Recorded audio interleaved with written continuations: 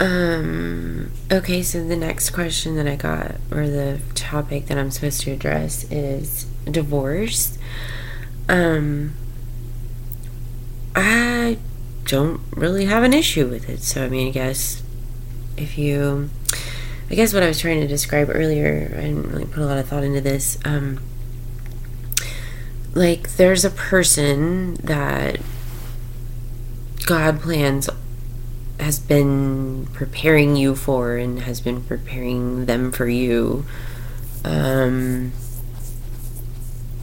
and that's what you have to look forward to. And this is what's happening like the bottleneck effect, like with accounting, like when everything bottlenecks to tax day, like that's what we're doing. It's like tax day.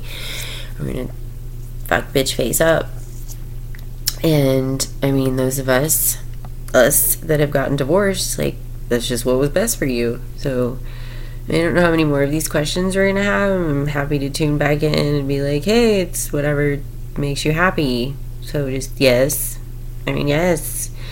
Um if you need to get divorced because you're not getting along any longer, then that's just what it is. You have to take care of yourself and you have to do what's best for you and you're trying to be the best you you can be. And if you needed to get a divorce, I mean people make mistakes. You're supposed to learn from it. That's it. So I hope I answered your question.